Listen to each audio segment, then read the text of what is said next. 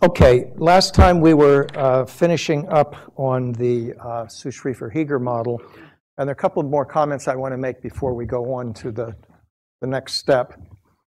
So um, we talked about you know, how we get zero modes at different ends of the sample.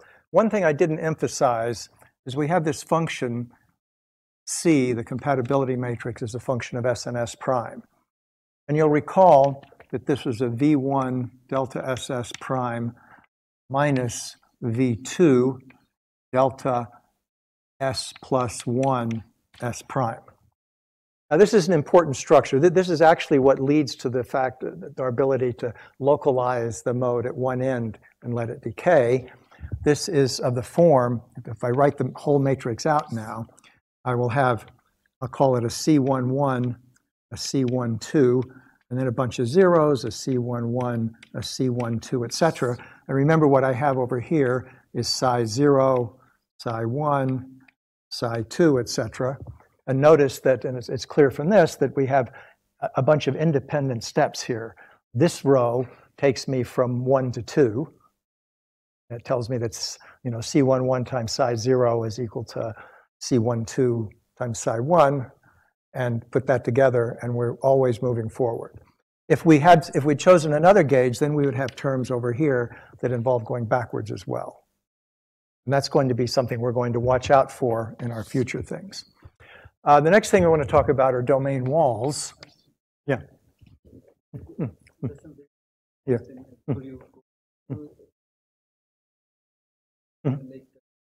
even number of yeah. Then of course I can find the spectrum.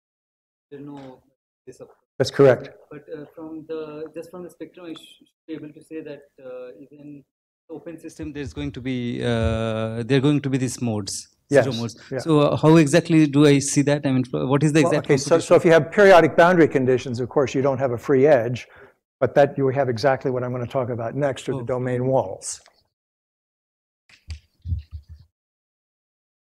Which if you take a continuum limit of this, it's uh, called, uh, you know, it's a soliton, so to speak. It's, it's something that's localized in one place and you can actually move it around. So let's look. Here is a domain wall.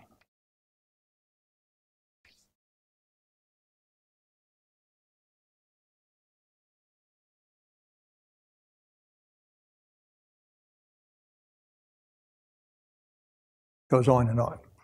Now, so what we have here, remember we said there were two versions of the dimerized lattice we could have. One where we started with the single bond and the other where we started with the double bond. And so what we've taken here is to, we've, you know, normally that would be a double bond and there's a single bond here, but we've just flipped it. So we've got this guy going backwards, right? You're, you're, you're frowning. Yeah. Yes, it's the, it's the mirror image. Now we know, let, let me do this. Here we showed that there was a zero mode that was resident here without what's going on here. We also showed that if we kill this one, we had a zero mode going in the other direction. So now we can ask the question, what happens here? Well, let's think of you know, taking this like this. This has one degree of freedom that costs zero energy. So I'm going to say I have a one degree of freedom at this point, which describes the, that localized state. Going backwards, it's the same thing. So I have two degrees of freedom going into this lattice. But I have a constraint that I tie the two together. So what are the number of zero modes that I'll see there? Well, it's 1 plus 1 minus the constraint I've applied. So we can actually use exactly the same language that we used for the uh, theorem. In other words, you know, the zero mode is like the zero mode of a single point that I can move in different directions. And this guy is like putting on a constraint. So you have one zero mode localized here, decaying exponentially in the two directions. Right? And then the other one I, I'm less certain about. I could come along and do this. And so now here I have another switch from one end to the other. And you can ask, well, does this guy have a zero mode? Well, it does, but it's a little more complicated. So if I start here, this is a B lattice, and I can decay exponentially that way if I cut this off, the zero mode there. And the same thing is true of this guy. So now, again, I have two degrees of freedom, and then I have one constraint where I lock the two of them into there, and that gives me that I have one zero mode there. But that's in the B lattice, not the A lattice. Okay. Um, now, another argument which, you know, the proof of this is um, usually done in a continuum-like thing, and it's a little bit, it's a little bit nasty actually. So you can see the proof in in our original Nature Physics paper. But the net result is, but, but you can argue in the following way. Here, I don't have any free, free edge. I don't have any free edge. Therefore, the local count that we had, that RL, shouldn't be there. So what we say is the number of zero modes is G, where G is the outer normal to the right-hand thing, dotted into RT1 minus RT2, where this is the one side and this is the two side, and divided by 2 pi.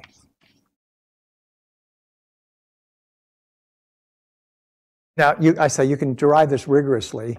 The answer, of course, is that RT1, remember, was equal to minus A, we calculated. RT2, going back the other way, was 0. So this thing is indeed equal to 1, as it should be. And so, as I say, you, you, there's a more sophisticated formal proof, which would I couldn't even get right if I tried to do it right now. But, but you can look at it in, in, our, in our paper. Still frowning.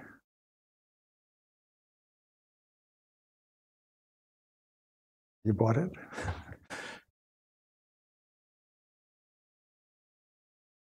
and then these things, these things, yeah, what?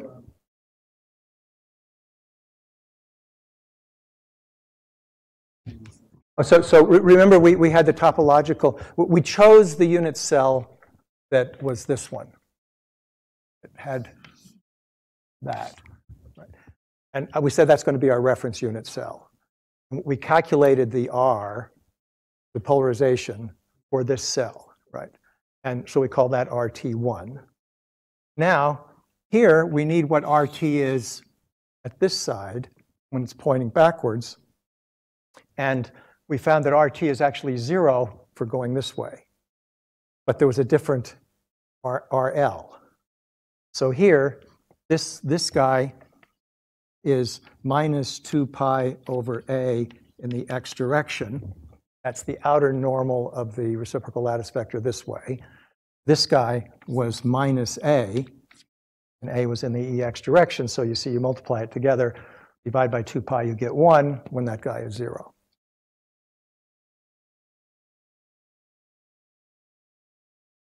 So to satisfy you, go read the full proof of how this is done.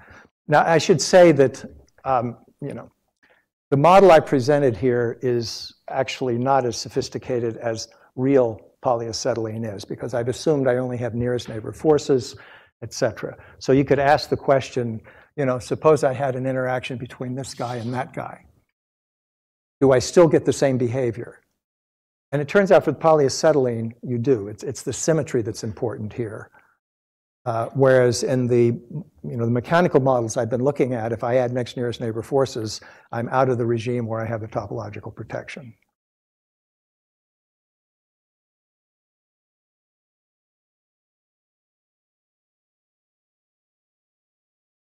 Uh, no. Well, it, it depends on how you terminate, right? So if I, if I take a, a lattice that looks like this, excuse me? On oh, on the ring. Um, let's see now. No, th this, uh, okay, so, so I have to draw a ring to see how we're going to do this. Huh?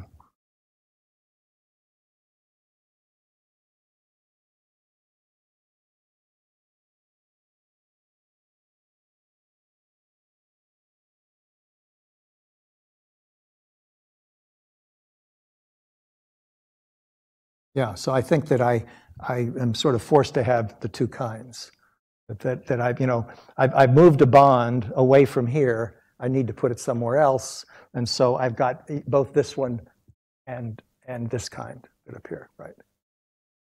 Now, I haven't, I haven't done the counting for, for, certainly for the mechanical models we've been looking at. If I put in a domain wall that has zero modes in it, then the count is that I have to have another domain wall that has, is a self-stress domain wall. And it's basically that that's happening here. In, in fact, so I'm not going to have time to go through this, but, but we have a, a one-dimensional mechanical model that exactly replicates this, where the mapping is that the A sites become the sites of the mechanical lattice, and the B sites here become the springs of the mechanical lattice. Um, fine. Now let's see, I was, I had a couple of notes to myself as to what I wanted to mention here before I went on.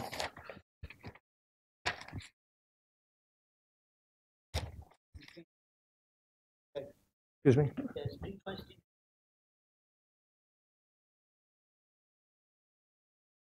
Well, if we're talking about that model, yes, that's, you know, it, it's a Peierls uh, transition and you get a different spring constant, uh, you know, depending on that. Uh, comments. Okay, I think that. Uh, oh, and I just want to remind you that, again, because we're going to see this again, that all of this says that, you know, this function, which we called n0 of g, which is the number of zero modes, that I, um, well, that, let me write this down. So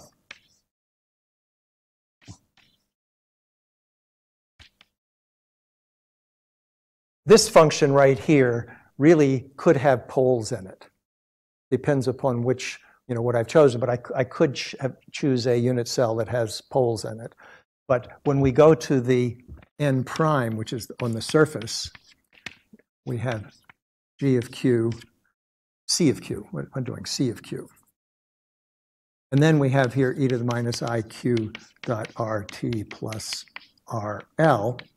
And you know, there could be another analytic e to the i phi here. It doesn't matter. there's a part of this that wraps around, and then you could have a part that doesn't.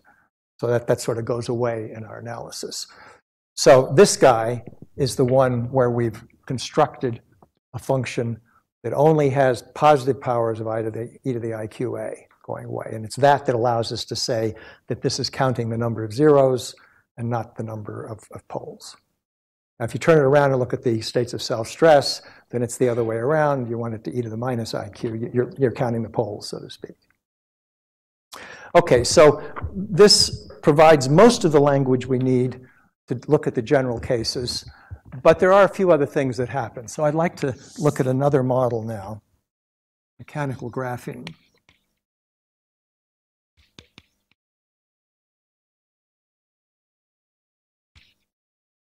Now, you know, graphene is a very famous lattice now.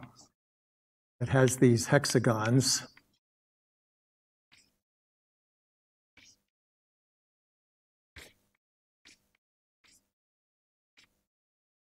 And it has Nobel Prizes associated with it and all of that. It's the honeycomb lattice. And, you know, it is actually this lattice that launched the uh, topological insulator revolution because it was on dealing with models on this lattice with not only hopping between bonds, between sites, but uh, spin orbit interactions and things like that, which opened up gaps in a funny way. Um, so this is a lattice that you see a lot of, and it, it has interesting properties if you strain it. Take a hold of it and you stretch it. So, you know, you have a series of hoppings here. Uh, see, I'm going to do this. I mean, normally you say all, all of these hoppings are the same, and that gives you one, one theory. But if you stretch on it, then you know you'll change the, the hoppings on these ladder, the, these uh, bonds, but not those. So what we're going to do now is to introduce a mechanical model that exactly reproduces the electron spectrum of the stretched graphene. And you know, I don't know if any of you know Kitaev and you've read any of his papers, which are incomprehensible, even to the most brilliant the first time around. He plays with that model and produces all kinds of exotic quantum states and potentials for quantum computing and all of that. Anyhow, here's the model. So this model has two is a two sublattice model. or two site sublattice. Uh, yeah, a. See, I think, I think we're calling these the A lattice and these the B lattice. Etc. So we're going to take this lattice and we're going to put a triangle down, an equilateral triangle, so that the center of mass or the centroid of the triangle lies on the B lattice and the sites, the, I mean, the, the vertices lie on the A lattice. So you get something that looks like this.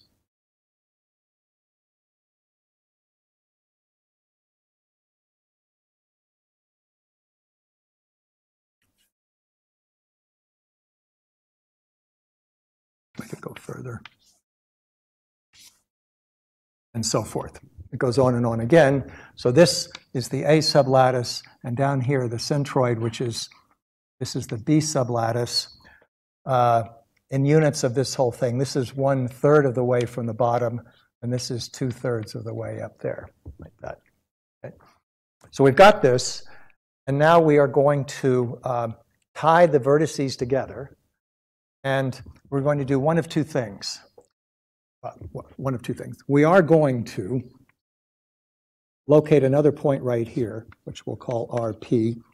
It is the uh, fulcrum point. We're going to tie that point down, and then we ask what happens if we allow the vertices here to have the degree of freedom that they can move outward, so they can have a z component. So if you think of these as being a piece of metal, and you start moving the edges up and down, you can either move the edges so the thing rotates about the fulcrum so that the, it, the triangles remain planar, and that doesn't cost any energy. But if we move it so that the, you know, the top goes up a little further than the, the other ones, then you actually bend the object and you create some energy. So, or there's another way of doing it, which is harder for me to draw. You put, you attach, you know, looking in the third dimension, I have this point, and I'm going to attach a spring to it, like that. And now the same thing applies. If you rotate this thing so it remains planar, you don't have any energy cost. But if, if you don't, then you'll move it up and you'll stretch the spring, and it'll cost me energy. This is the, this is the point RP. I, have attached, I either, you know, attach this to a frictionless fulcrum so that, and, and I worry about bending thing. That, that's the easiest one to think about it, but it turns out that it's actually non-trivial to calculate the energy uh, associated with taking the three sides and bending them upward. It's, it's even if I just give you the, you know, a simple elastic medium, it's tough. So this, this one's easier to think about. So you can show that the following object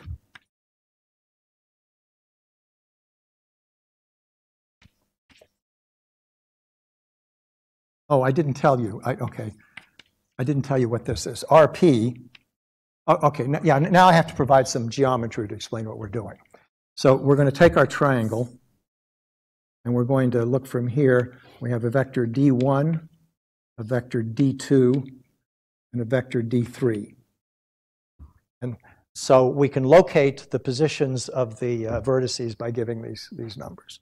And we have the uh, fundamental translation vectors of this lattice, we have an A1 this way, an A2 this way, an A3 this way. And just for further use, I'm going to write over here what those are because we will be doing several steps with it.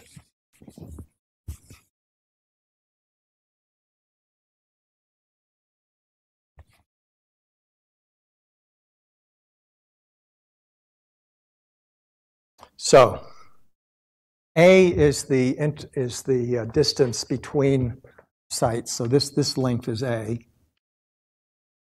And we can write D1 is A over root 3, 0, 1.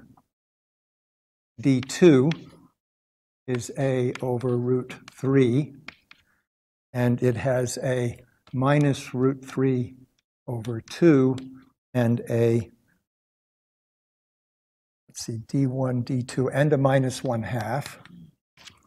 And d3 is a over root 3 times plus root 3 over 2 and a minus 1 half. Then A1 is A times 1, 0.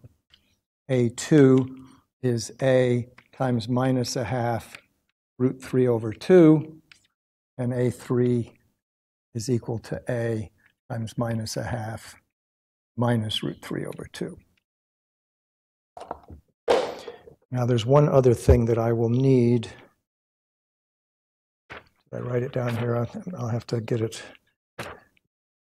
Yeah. I'm going to need the reciprocal lattice vectors. So B1. So remember, um,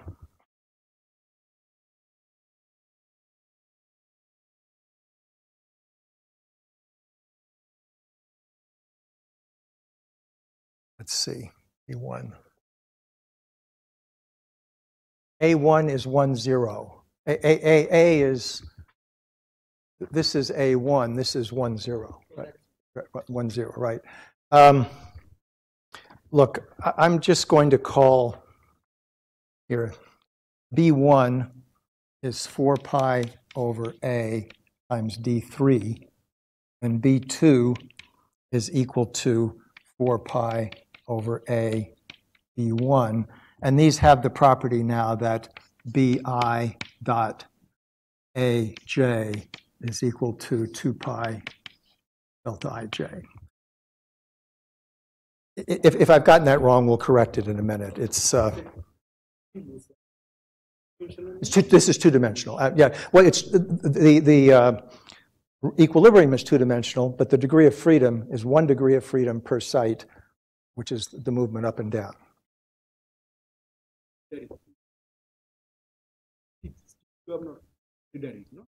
I, I'm not, well, I, I have not, but I'm going to start to right now. So now remember I explained how, how these things, how you change the energy by moving it up and down or bending it, right? And so what you can show is that um, if you have the Z1, Z2, and Z3, so this would be 1, 2, and 3, and you have, uh, no, I'm sorry, I guess this would be 1, 2, and 3. Um, So if this, it- so th- here, if you look at this for a single triangle, where Z1, Z2, and Z3 are the vertices, this operation corresponds to just rotating planar the thing, so it costs no energy. So what we then say is, well, we can assign an energy to the bond, which is just 1 half some elastic constant times EB squared. Okay? So our energy, our Hamiltonian, if you wish, is sum over B, 1 half K EB squared. And now we can, once we've got this, we can play the same game that we played with the, uh, you know, the, the mechanical things. I'm going to introduce a tension, TB, or T rather, T sub, uh, let me do, let me do this the, so I don't make a, a mistake in the, uh, okay, so I should say that we want to now remember that the center lies on the B sublattice, and that, so, so the B sublattice is what can, contains the triangles, okay? And the A sublattice is what, is what contains the sites. So we want to know what T of uh, lattice site RB is. Well, it's going to be K times E of B. E of RB, maybe make it, write it like that. Okay? And I can then ask what is the force on site RA? And that's going to be, uh, so, so this is equal to DH DEB. And this is going to be DH DZA. And that, this is equal to sum over I xi z of RB plus DI. Okay, so that, that's giving me, see, we have, uh, make sure I got this right now.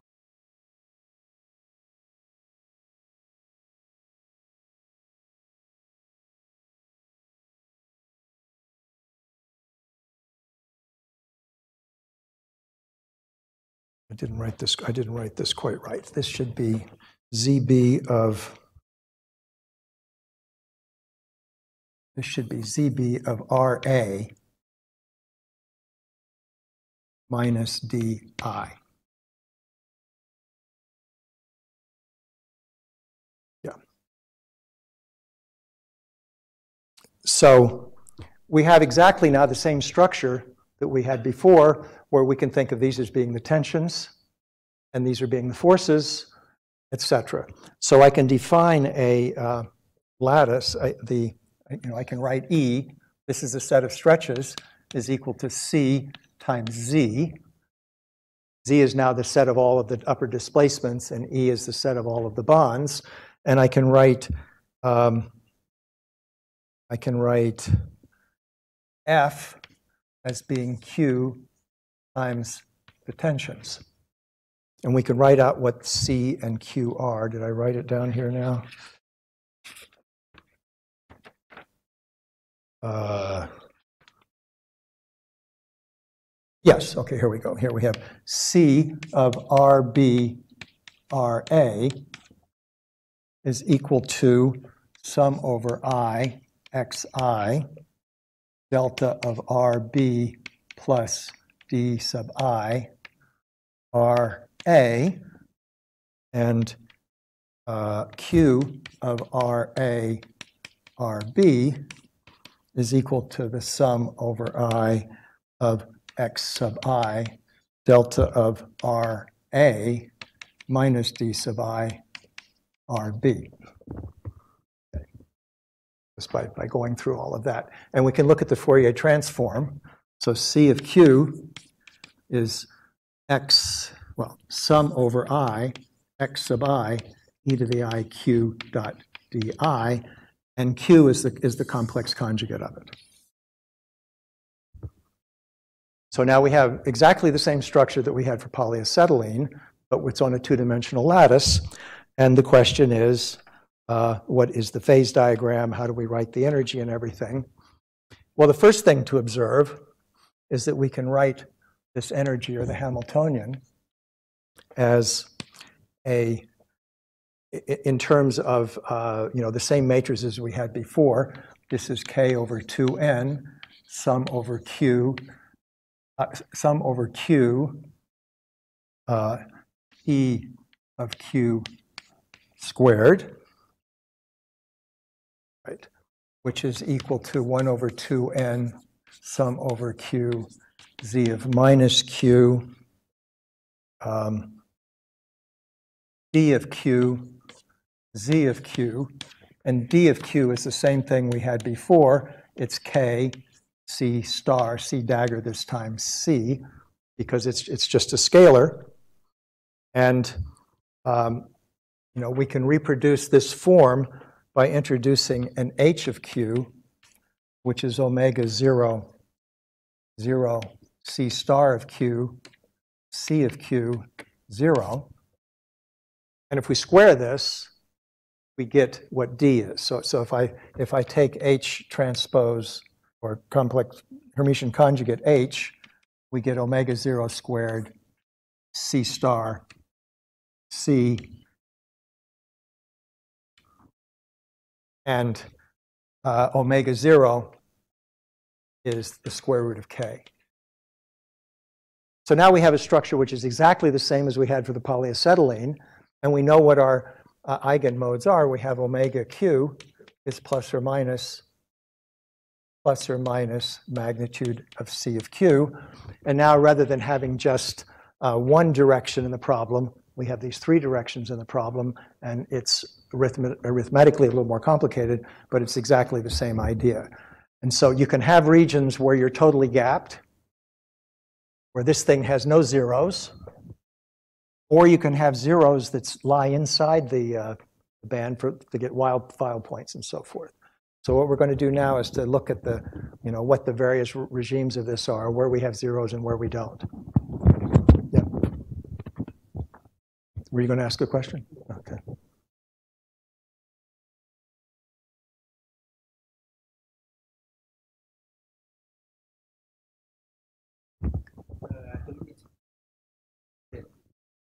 So, okay, I mean, I, the, we don't have, I mean, this thing has the lattice of graphene, but of course the, the, the physics is, is different, but the spectrum's the same. Oh, oh, I added this bond, yes, the, the, this, this guy. And so it turns out that these X1, X2, X3 map onto T1, T2, and T3 of the graphene. So, so if you stretch, stretch graphene, you'll make your hoppings have T1, a T2, and T3, different values, and they map one to one onto X1, X2, X3. So, so that, you know, th- this guy has a broken symmetry too. When I stretch on it, this has a broken symmetry, which comes from wh- where I put that guy.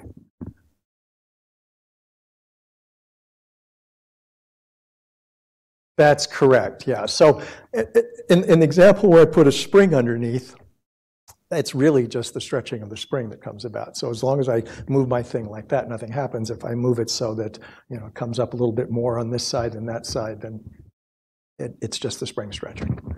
And if you, you know, our paper, which I think I've listed in the, uh, in the material we've given you, goes through those operations.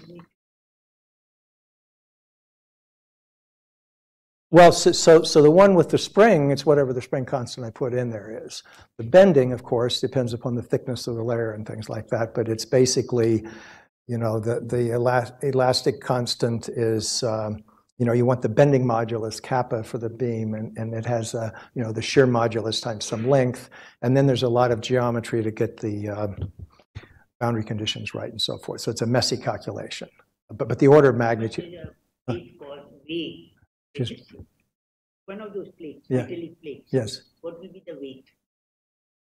Well, it depends on whether I make it at a micron size or, or a centimeter size. I don't know. It, So you have actually made some samples. no, no, I would love to have somebody do it. Oh. No, no, we're, we're working on trying to find someone who would actually do this. I mean, I think it would be a nice experiment.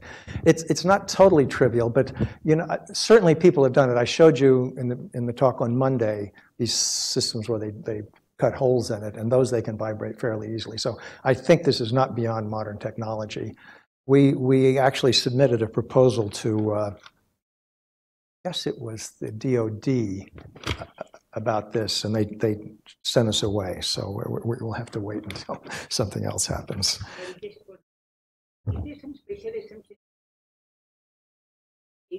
Well, of course, yeah, I, I'm obviously, this is a, you know, it only works in the linearized limit, because if I pull them up too far, then there's a stretch in this direction, and I would have to design some special way of dealing with that. But, you know, you, you could see the effect by having a, a very small up and down, you know, I could have a, you know, I, I have something that's a centimeter on the side, and I could let it go up a micron, and that would be enough to see, see the, the effect, so I, I don't, yeah. Um, Okay, so we are going to introduce Weyl points.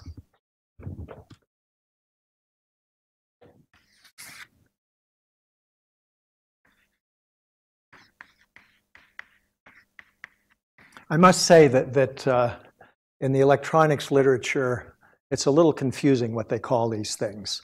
We're calling it Weyl points because there's just a single thing coming in. The Dirac point is supposed to have two bands that are coming in at once. Um, so this is where we have omega of q equal to zero for q in the Brillouin zone. In other words, these are not edge points, these are actual ones. So I want to know when is omega q equal to zero? So what we will have, first of all, if there's a q star such that omega of q star is equal to zero, there's also a minus q star. And that's pretty clear, you know, looking this function there, that if, if you have, if you have a q, there's a minus q that also works. Um, so let's look at the, at the point where the x1, x2, x3 is one-third, one-third, one-third. That corresponds to being at the center of this guy, right? R- remember how you measure these, these x's. This, this is the line x1 equals 0. This is the line x2 equals 0. This is the line x3 equals 0.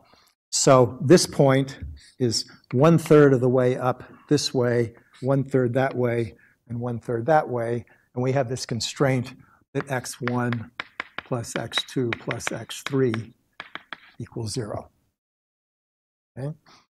So what happens if I look at the point x1, x, excuse me? The sum is 1, yes. So here, did I write 0? Oh. It- uh, Well, we- we- we'll just multiply times, uh, yes. I had a ha- habit of doing that. The sum is 1, absolutely. Uh, Which means now I can look at omega of q is equal to 1 third times e to the i q dot d1 plus e to the i q dot d2 plus e to the i q dot d3. And we want to know, is there a value of q for which that's equal to 0? And the answer is yes.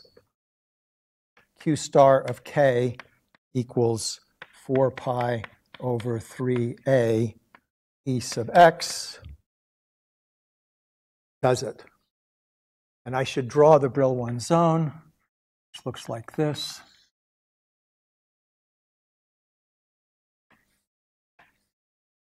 The center. Here are the, here are the points K.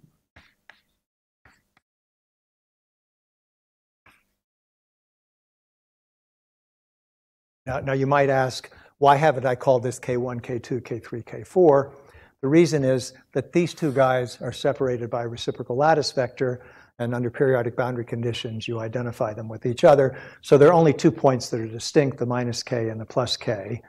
And so what this says, that if I sit in the uh, phase diagram, uh, let's see, I need to draw the phase diagram too. Now, this is going to be a little complicated. Can everybody see over here or this far? Uh, I want to draw the phase diagram. So this is the x1 equals 0, x2 equals 0, x3 equals 0, and we're asking what happens if we sit it right at that point. And what there is a 0 if you lie at qk or minus qk. So these are the points which correspond to the Dirac points in the graphene electronic structure, which is the standard one where you haven't stretched everything. Uh, and you know you have a legitimate zero there. Now, we have continuity here. So in the vicinity of this point, if we have Weyl points here that, that sit at that thing, then we have to have Weyl points as we move away from there a little bit. Uh, Oh, yeah, so, so I want to look at the, uh, move away from here, I should say. So, so as, as, I move out this way, there's certainly a finite region around there where I have Weyl points because they don't go away automatically. Uh, but eventually we lose them. So um, they have to disappear when the points join together. So you have this point, there's a Weyl point there and a Weyl point there. How is it that these guys can come together and annihilate? Well, if we have one of them is Q star, and there's a minus Q star, and we want to make to identify these. Well, they become identified if they're separated by a reciprocal lattice vector, which is one of these things. Okay, so we can solve this and find out when when that disappears, and it is when Q star is equal to 4 pi over root 3a times 0, 1. That's what we get. Um, just yeah. So, so, so that this is where a Q star can be, and they those correspond to these points here.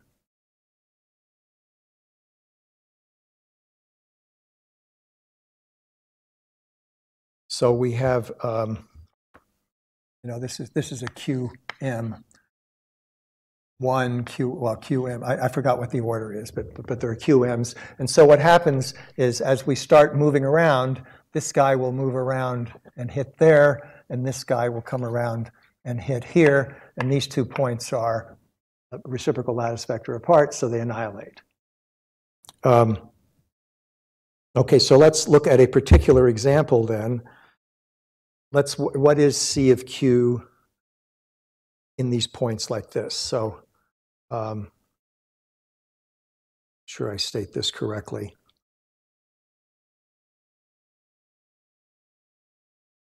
Yeah, so let's, uh, where's my eraser? I lost it altogether. Thought I had a nice eraser somewhere here. Did I- put it over here? Oh, it fell. Th- th- th- This is the one that seems to work the best.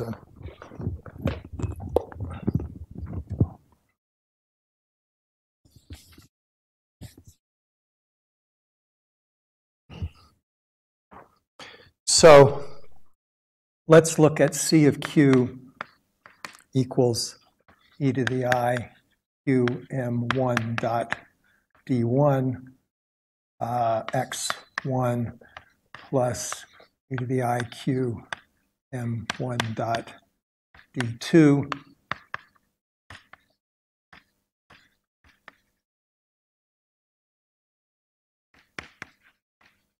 and q what the q m j star i'll leave out the star is 2 pi over root 3a dj so, you know, we've defined the directions here, which means that, you know, we're in reciprocal space now, but uh, this is, remember, proportional to one of the b vectors, which means you're, when you're in reciprocal space, it works, and there are the three different directions. So what is c of q for that form?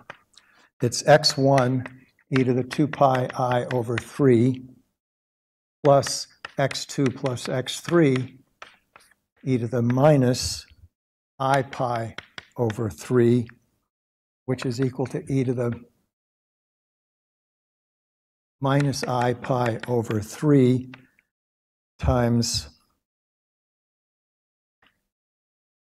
uh, how do I want to do this? I want to write this as x1 e to the i pi plus x2 plus x3, and we want that to equal 0. So we have x1 minus x2 minus x3 equals 0, and x1 plus x2 plus x3 equals 1. And what that tells us is that uh, x2 plus x3 is equal to 1 half, and x1 is equal to 1 half. Okay, so if we go back to uh, this picture, right, this is supposed to be my phase diagram. So this is the point, x1 equals 1 half. And as x2 plus x3 spins along here, you move along this point. So what we found is we've gone to having a zero point, a zero Weyl point here, and we come up to this point, and we find that there is a line here where we have zeros. And what's going to happen is over on the other side, we're gapped. So this was, of course, this is just for the x1 direction, but we have the three directions. So what we have is a curve like this, and we have Weyl points throughout this region. Now, what happens when we go up there? Well, let's look at the point x1 equals 1. So then C of Q is just e to the i q dot uh, d1. And this I could write as magnitude C of Q e to the minus iq dot RT. So if we use this, this unit cell and the way we're doing things, you know, notice what we've done here is we've chosen really the most symmetric unit cell we can have. We've put the center of the B lattice at the center of the triangle, and we've then repeated that. So that, that's the, the sort of natural one because it's the, it's the unit cell that reflects the symmetry of the lattice. But it's not the unit cell that we're going to use when we get to look at what the surface states are. But that, uh, so what does that tell us? That tells us that we have RT is minus I d1, uh, minus d1 rather. And just read that off, that this was the definition of RT, this is what C of Q is. We could have gone through the whole operation of evaluating the contour integrals, but it's clear that, that this is what we have. Um, and then you can go and look at various other uh, versions of it. For example, um, let's see. Suppose I look at x1 equals 0. Is that what I want to do? No, I want to look at, shoot, I hope I haven't lost all of this.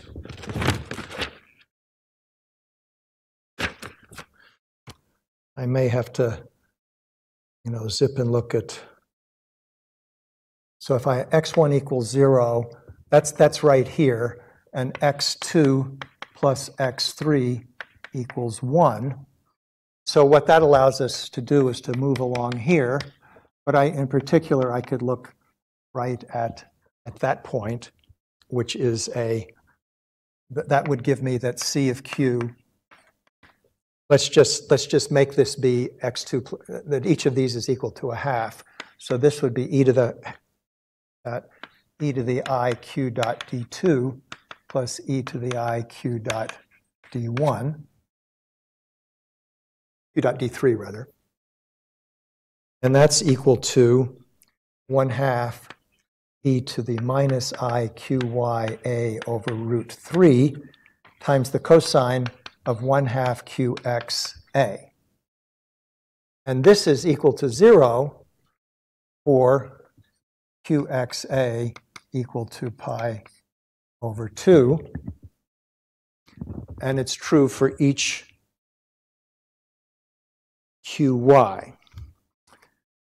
So what I'm going to do, see how many, how much time do I have left here? Is it 37 minutes? So in a couple of minutes, I'm going to pull up the um, computer and show some more pictures. So I, what, what I'll show you are pictures of zero modes that are associated with this sort of thing. So this is true for every qy, which means that I have a mode for essentially every line. Uh, and of course, here, the, zero mode that corresponds to this, this is one that fills the all of space. But in any event, what we find then is here we have an RT that points down.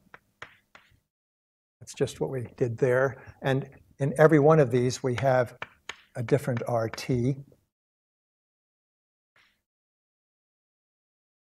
So what we find is that there are regions where there are Weyl points.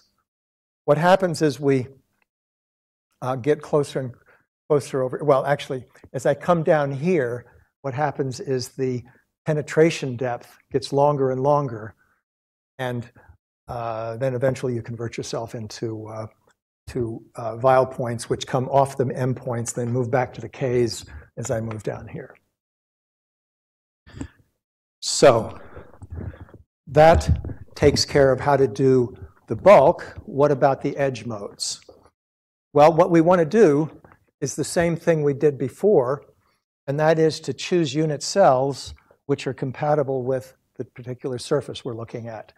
So in order to calculate the, uh, the, the zero modes with a surface that runs along here, what we want to do is to take this point and move it down to there. And then I've got a point that lies right on the edge, and then we have that the C of Q is equal to magnitude C of Q e to the minus iq dot RL plus RT. And in this case, RL is equal to, um, well, let me just see, did I, oh, I'm going to get the, possibly get the sign wrong here. I forgot to write this down properly. Um, RL, I believe, is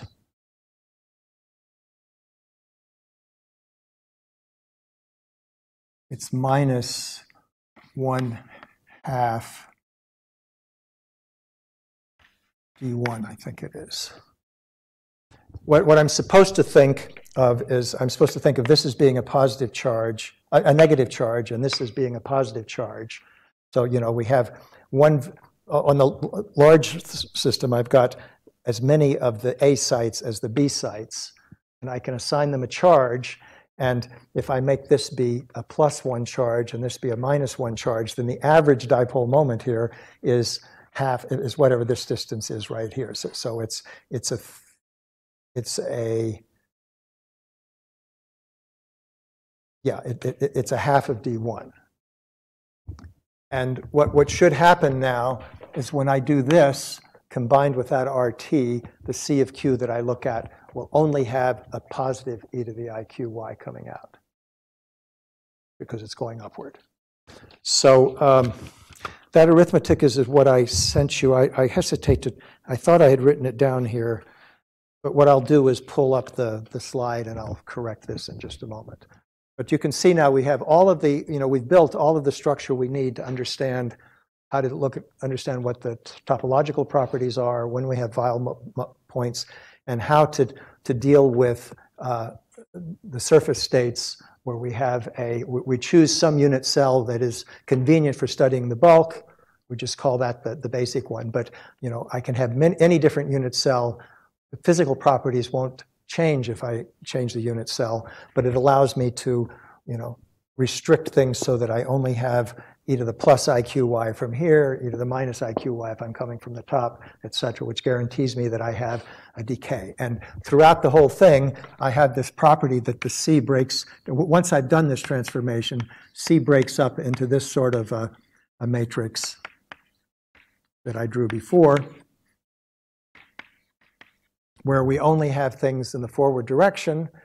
Now, so far, we've only looked at things where this C is a scalar, but when we do the, you know, the topological lattices like the, the distorted uh, Kagome lattices, these things are matrices. But it's still true, you set things up so that the, this guy only connects bonds and sites within the, the surface unit cell, and this connects bonds and sites in the surface unit cell to the next one inward, and so forth. And that guarantees me again that I will only see zero modes there. So, can I have the screen now? Hello, hello. He, he, he said- he said I should just shout at him and he would. Yeah, it's coming. There we go.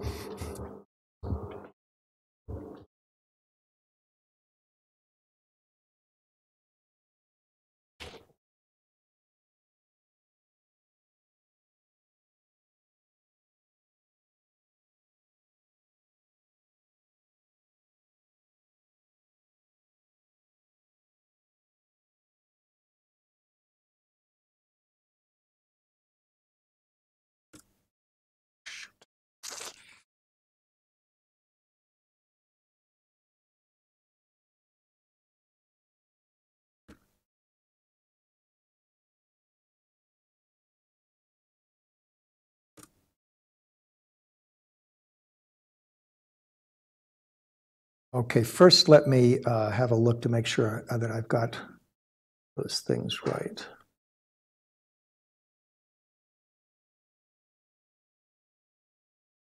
Surface.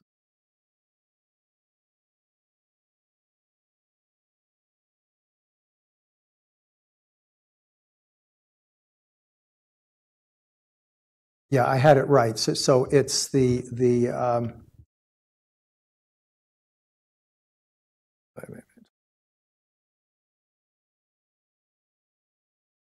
RL could be a half D1, R2, or, or R3. So, so there's, there's a, a plus sign there instead of a.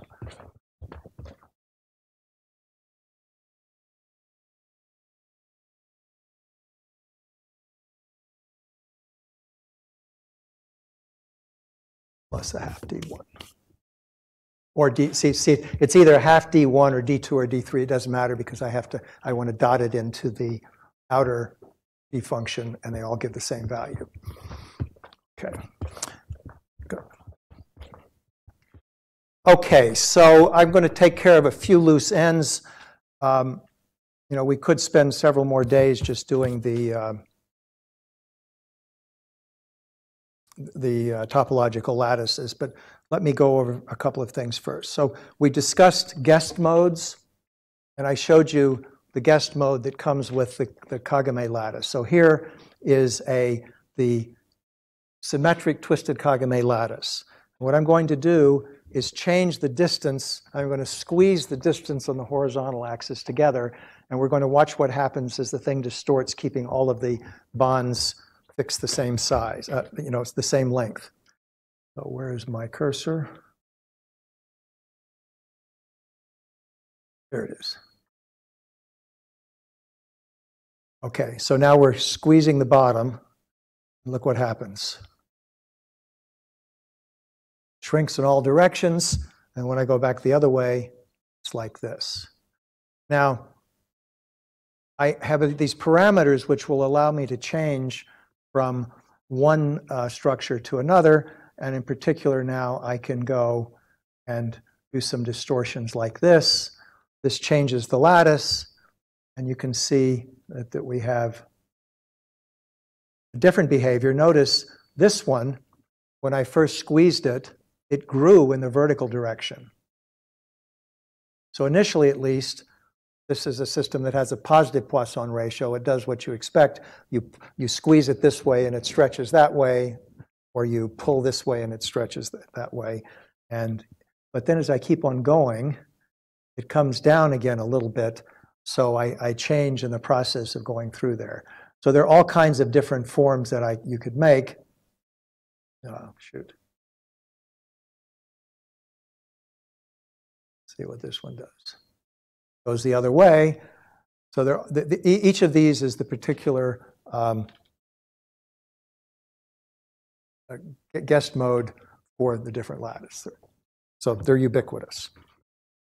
Uh, now, so I'm going to go pull up now the slides that we saw on Monday and discuss in a little bit more detail after you've seen all of this thing. I'll remind you of what I said that went over your head on Monday, and I think probably it's useful. So let's uh, look at the. Um, know, we learned that the, the, these Maxwell lattices have the property that the number of zero modes at any given q is equal to the number of states of self-stress at any given q, and that's spectacularly demonstrated in the standard Kagome lattice. I've got a pointer here.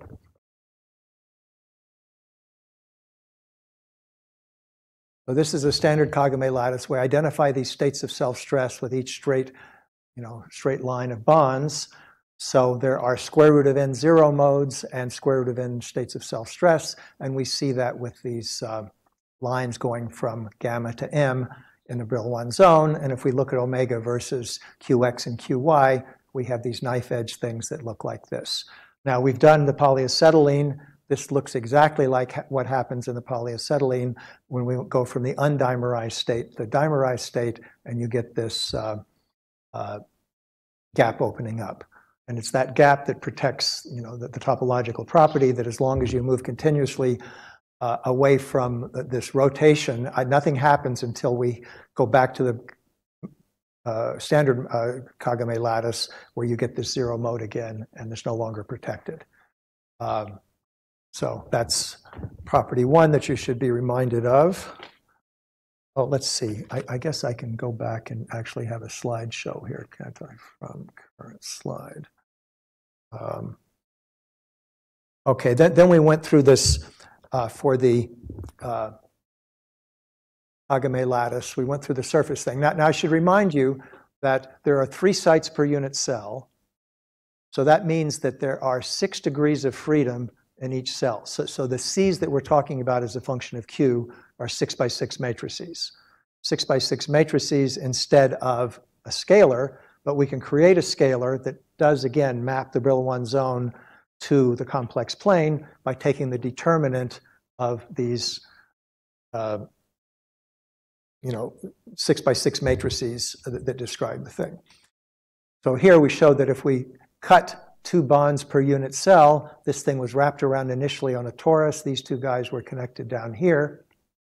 Uh, we've reduced the number of constraints by two. In the case of the Kagome lattice, we also reduced the number of states of self-stress by two because this point has two lines coming out that are now broken and no longer support the stress. Uh, so you don't get anything new when you do the cut in the Kagome lattice, except for the choice of wave numbers. Down here in the, in the twisted Kagome lattice, now we've cut the same number, but we haven't killed any states of self-stress. Actually, we've killed one overall, but that one's unimportant. So we have to have delta NB, which is two bonds per unit cell that have been cut, of zero modes, and they reside on the surface. Those are our surface modes. Um, and when we look at the surface mode that came from the Kagome, the twisted Kagome, which is an isotropic uh, C, you know, C3 symmetry, then uh, we the long wavelength limit of that is that of a triangular lattice, and we know that the triangular lattice, I should have said this, the triangular lattice in the long wavelength acts like an isotropic lattice. Anybody know why? The square lattice doesn't. The square lattice does not have full rotational symmetry, but the hexagonal lattice, as far as the elasticity is concerned, acts like an isotropic lattice. Anybody want to take a stab as to why that's true? Well, what we have to do, there's no new fourth rank tensor that you can write with the directions of a six-fold lattice. You know, you, you, but on a square lattice, you can make a new fourth rank temper, fourth rank because you can take sum over the directions one and two of, you know, EX1, EX2, EX3, EX4, and that's different from the things that come from the delta functions. If you do the same thing with the six, six in a row of a hexag, uh, four in a row of a hexagonal lattice, you get, you go back to the unit operators. So anyhow, it's not surprising then that as we go down to Q equals zero, all of these lines, which are the penetration depths as a function of uh, surface wave number asymptote to the form that you have in an isotropic lattice. So this slope was calculated, was exactly the result of the calculation that we presented on the zero modes uh, on Tuesday, I guess. On, the, uh, not zero modes, but, but the surface Rayleigh waves. Um, now, this guy we started off with, we uh, define a unit cell which is a symmetric unit cell. So we take the triangle and what I usually do is we add this line, this line, and that line. I'll show you that more in a moment. You, choose a symmetric unit cell and you calculate RT. And RT is zero for this guy. And you don't find anything interesting topological unless you do something else. So what we did is to straighten out these lines in one direction so that we pass through a point now where we have zero modes running along here and we no longer have the protection that you're going to qualitatively have the same behavior when you cross this line. And then we come down to over here and uh, you look at the spectrum and you know these dark lines right here, th th this is an intensity thing. You know, the, the, the darker the line, the smaller the frequency. That, that corresponded to zero modes running along here because we have these states of self-stress running in the perpendicular direction. Here, these look like this, but if you look more carefully, they have a dispersion where omega goes as q squared instead of omega. And you'll recall we derived that result uh, from the elastic limit just by looking at what the zero mode of the pure elastic thing was and converting it to a q thing.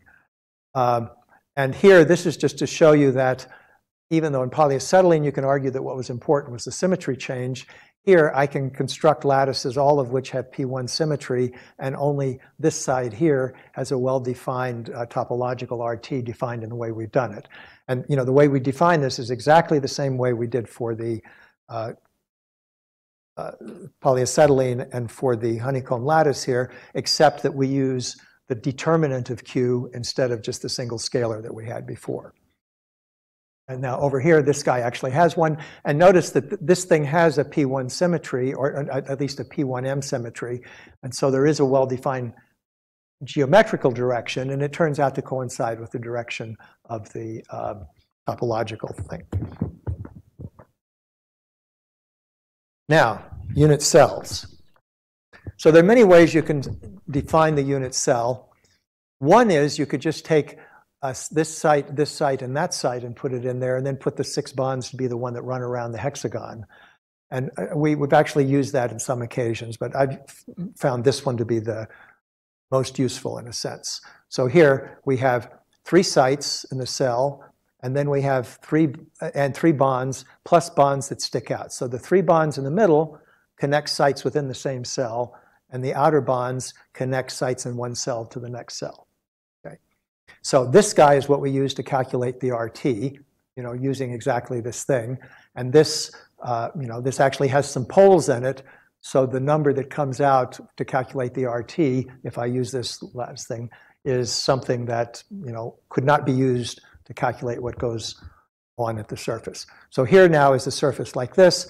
Here is a unit cell that has no bonds sticking out and connecting to the to the uh, cells below it. And so what did I have to do to go from here from here to here? Well, you can see that this part is the same, that's the same, this guy's sticking out, but this one is here and it's not up there. So what we had to do was to take this bond and move it over to there. And so the RL that goes with this is precisely the lattice vector that takes me from there to there, and I forget which one that is. It's A2 or one of them, right? So, and, and if you then look at the, at the uh, form of the uh, uh, q that comes out of here, it indeed only has positive powers of e to the iqy coming up this way, which guarantees us that we only have zeros. And in this case, case there's only one zero because we only have uh, in, in, this lattice, we only have one uh, zero mode per unit cell along this surface. Now, if we go to the other side over here, then we have a different unit cell. And, you know, if I cut it like this, then the unit cell, you know, we have three sites that are on the edge and six bonds that look like this. And then over the other side, we have a different thing. And because of the, the different shape of this unit cell, we actually have uh, a total of four zero modes per unit cell distributed on the two sides. And if we take the topological one, we, how do I go from this lattice to that lattice? And at this side, we can arrange it to have the total of four modes per, zero modes per unit cell. And you can see, what do I have to do? Well, this site, let's see, this site and that site are the same. This site and that site are the same. But this site, we had to move over to uh, here. So what we've done here is we've we had to do two translations, translations of bonds and translations of sites. And when we get done, we get a uh, unit cell that has only the all of the points in it are on the edges and all of uh, on this edge and all of the bonds on the edge. And we have only couplings that go in that direction. And once we've got those uh, uh, C's that reflect the surface symmetry, we can just uh, calculate by, by looking at the zeros of the determinant of the C matrix, we can actually calculate the penetration depths. And that's what we've done here. You know, this corresponds to this arrangement. RT is along the G, so that means that RT on this side is large. And then there is a, an RL that goes with this translation, which was also A. So the net effect is that on this surface, we have two uh, zero modes per unit cell, and they're shown here. Notice one of them comes in with a q squared slope, and that we could have told already from the uh, elastic limit that we looked at, where we found when the determinant of g was negative, we had uh, Q modes in the bulk that, that were zero at order Q. And in order to get anything on the surface, then we have to go to Q squared. So that's, that's something that we expected. And now these show, you know, other ways. So all of these guys were calculated because we had a, a C, a determinant C of Q that only had positive e to the IQ into the bulk. And, uh, it, you know, it's really trivial. It, you know, it took Mathematica half a second to calculate these things. This is an interesting one where, again, we have four. Notice this guy has RT that's parallel to the G, so we have a, a larger number of, uh, of uh, zero modes because the G dot RT is larger. Here it's not as large, and what happened then was we only moved one zero mode from the other side over to here when we turned on the topology. Um, and this shows the, the domain wall business. Uh, I wanted to yeah, so now I'm going to escape here for a moment and go to a paper. Yeah, So, you know, we saw that we have Weyl modes in the uh, our, our model of graphene. Here is a model which, which you know, ha- deals with the phonons in exactly the same way we did for the Kagome lattice, except this one has four sites per unit cell. And what we've done is to look at the phase diagram. We fixed three sites and moved this guy around. So that gives us a, two-dimensional phase diagram, and this is what it looks like. It's pretty complicated, and how in the world did I do that? There we go. Uh, so you can see we have the white regions. These are regions where we don't have any zero Weyl modes in the bulk, and we have well-defined polarizations that point at uh, 90 degrees apart or 45 degrees apart going in there. Some of these go like that. And then we have the gray regions where we have the, the Weyl modes. So that's sort of a generic behavior. You can see that here, this one, we're just beginning to get Weyl modes coming out. This one, it's more distorted. Here, the two Weyl modes, they, they were coughed out of the origin and they're moving out like that. They'll eventually hit the edge and annihilate at uh, symmetry equivalent points at the edges of the Brillouin zone as we move that around.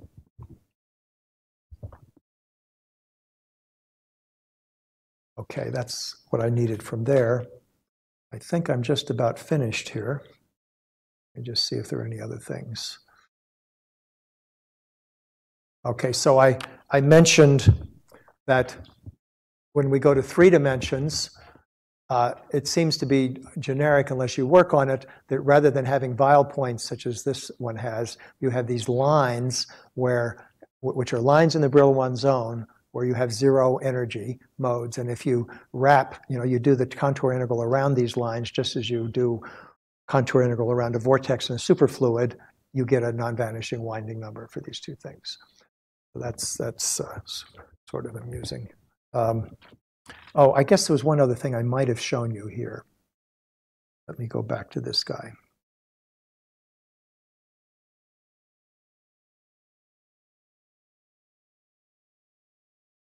Um,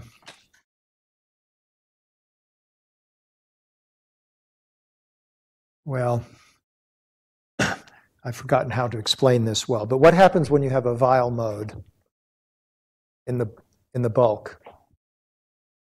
You can have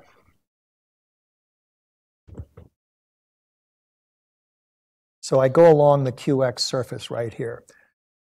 So we've cut things, so we always have zero modes on the surface. So here, suppose we have one zero mode. And then we hit the projection of the Weyl mode right here.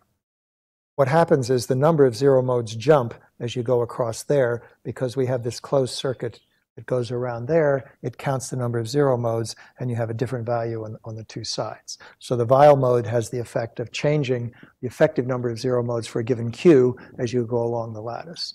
And what happens is here at this point, you have a, um, you know, the, the penetration depth gets larger and larger as you get closer and closer to that point.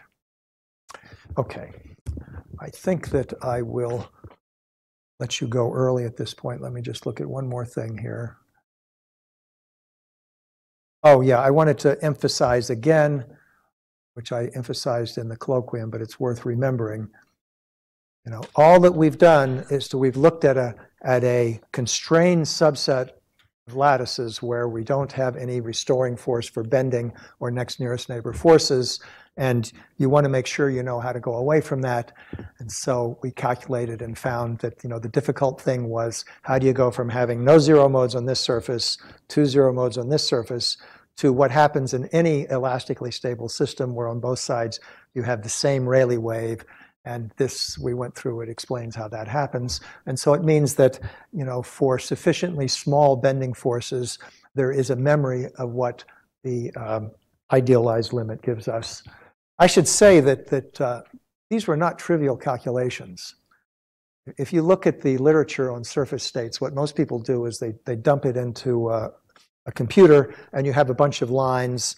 Some of the lines are bulk, bulk lines of omega versus Q, and then you see some lines below the bulk bands. But they, they miss things like, you know, if you do a calculation in a finite lattice, then you have an interaction between the, the two surfaces, and you're not sure whether, which surface the, the uh, zero mode lives on. So these were done genuinely by applying a generalization of the technique that, uh, that uh, Rayleigh did to calculate the Rayleigh surface waves in the elastic limit. We then did it on the lattice where the, where the boundary condition now is that the force on each site on the edge has to be zero. And then, you know, there was a complicated system where we had to deal with six by six matrices and so forth. But now these are really calculations for a semi-infinite system where we can go to penetration lengths that are very, very long that you couldn't do in a, in a numerical calculation. Okay, it's, uh, it says here, oh, it says I have nine hour, nine minutes and 23 seconds left, but I think that uh, I've said what I want to say, and I'll open it to questions now if there are any left.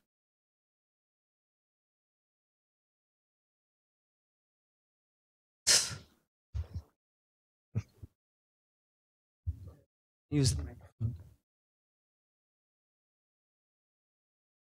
This is a test, you know. Um, uh, there are also like uh, Dirac points on the graphene uh, spectrum, right? So, so that in the graphene, unstretched graphene without spin orbit forces and so forth, you have the two uh, Dirac points, and there, you know, they have spin as well. So that, that's why it's Dirac instead of uh, just a Weyl point at the K points. So those stay there, and uh, unless you do something else, you don't get a gap. So, you know, what was creative about what Kane and Mele did originally was they put in a gap coming from a spin orbit force. And that, that then, you know, they, they, they knew all of this business about you have a gap and you then probably have some topological protection. And the challenge was, what was the group that you're dealing with here? Because when you're dealing with the, with the graphene, you know, you have an omega of Q, and rather than having a straight line, you have a cone that comes up. And then you look at the two by two, you know, all of these matrices that I was dealing with here, you know, actually, you can see it right there again, you know, it's this kind of thing. This has what's called particle hole symmetry, and you're guaranteed to have a zero energy state from that. If you start adding things out here, then you need, you know, here you can describe this guy by sigma x and sigma y, and if you put in something here, you've got a sigma z. So you're mapping then not onto a two-dimensional complex plane, you're mapping onto a sphere. And the topological characterizations are more better done with Berry phases and things like that. That This is more. Yeah,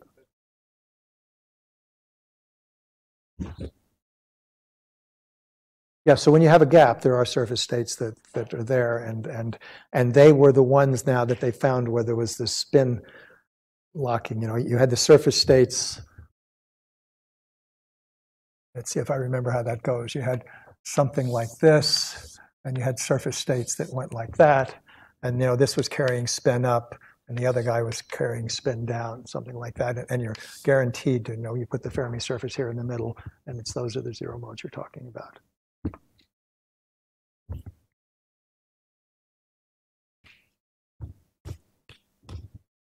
I, I- I had some uh, a couple of questions. So one is uh, so in all these systems, like if you introduce a little bit of anharmonicity, Yeah. I mean, does do this everything sort of is kind of stable to small? Well, so this is unabashedly a harmonic theory. Right. Um, You know, if, if I uh, put in nonlinearities and look at the uh, harmonic theory relative to the new ground state, it would still apply.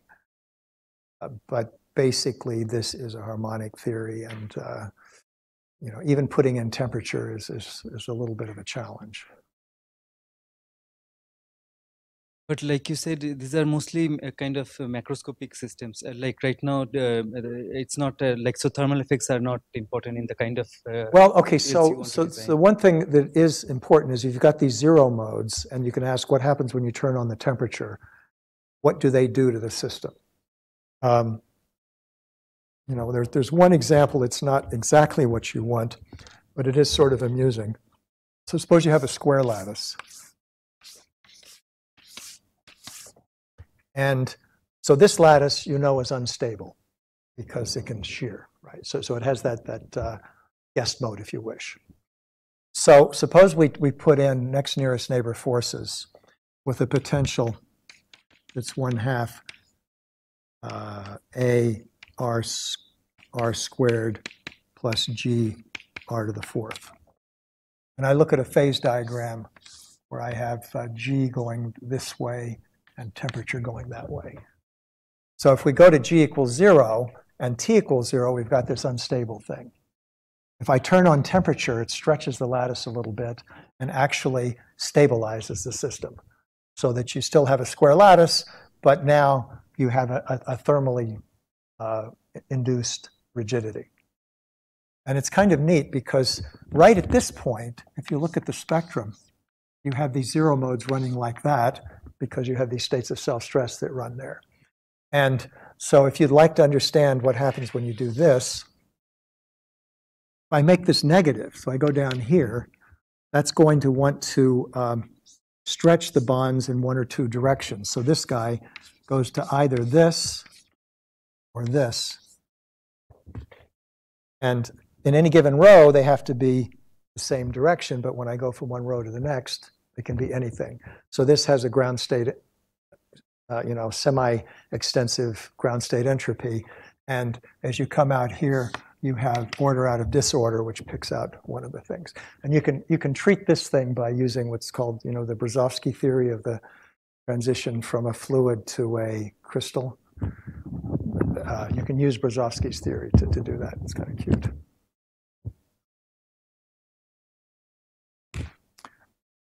Okay.